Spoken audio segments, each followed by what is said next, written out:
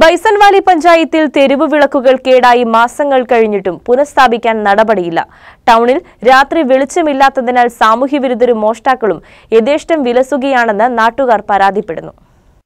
സംസ്ഥാന സർക്കാരിന്റെ നിലാവ് പദ്ധതി അനുസരിച്ച് മുഴുവൻ പഞ്ചായത്തുകളിലും തെരുവുവിളക്കൾ സ്ഥാപിക്കണമെന്ന സർക്കാർ തീരുമാനം കഴിഞ്ഞ ഗവൺമെന്റിന്റെ കാലത്തുള്ളതാണ്. ബൈസൺ വാലി പഞ്ചായത്തിൽ ടൗണിലുള്ള ഹൈമാസ്റ്റ് ലൈറ്റ് മാത്രമാണ് നിലവിലുള്ളത്. പഞ്ചായത്തിലെ സൊസൈറ്റി മേട് ചങ്ങനാശ്ശേരിക്കട അമ്പലം ഭാഗം അമ്പുക്കട പൊട്ടൻകാട് ഇരുപതേക്കർ ടീ കമ്പനി കൊച്ചൂപ്പ് കുരങ്ങുപാറ ആദിവാസി കോളനികളായ കോമാളിക്കുടി ചൊക്രമുടി എട്ടൂർ കോളനി തുടങ്ങിയ സ്ഥലങ്ങളിൽ ഒന്നിലും തെരുവ് വിളക്കുകൾ പ്രകാശിക്കുന്നില്ല. തെരുവ് വിളക്കുകൾ കത്തിച്ചാലുമില്ലെങ്കിലും മിനിമം ചാർജായ മുപ്പതിനായിരം രൂപ പഞ്ചായത്ത് വൈദ്യുതി വകുപ്പിന് നൽകിക്കൊണ്ടിരിക്കുകയാണ്. വൈദ്യുതി വിളക്കുകൾ പ്രകാശിപ്പിക്കുന്നതിനാവശ്യമായ ഉപകരണങ്ങൾ പഞ്ചായത്ത് വാങ്ങി നൽകുന്നില്ല എന്നും പ്രദേശവാസിയും പൊതുപ്രവർത്തകനുമായ എം ആർ പ്രകാശ് ആരോപിച്ചു.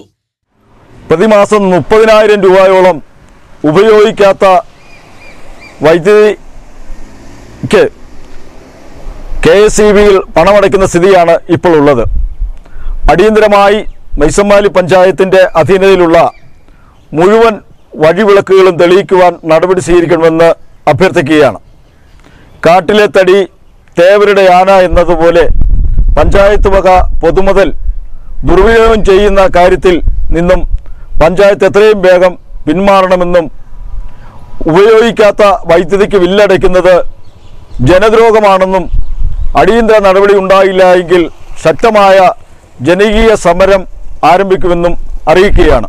കാലഹരണപ്പെട്ടതും പ്രവർത്തനരഹിതവുമായ ബൈസൻവാലി പഞ്ചായത്തിലെ വൈദ്യുതി വിളക്കുകൾ മാറ്റിസ്ഥാപിക്കണമെന്നും ഇരുട്ടിന്റെ മറവിൽ ബൈസൻവാലി പഞ്ചായത്തിന്റെ വിവിധ മേഖലകളിൽ നടക്കുന്ന സാമൂഹ്യവിരുദ്ധ പ്രവർത്തനങ്ങൾക്ക് തടയിടണമെന്നും പ്രദേശവാസികൾ ആവശ്യപ്പെട്ടു. ന്യൂസ് ബ്യൂറോ രാജകുമാരി.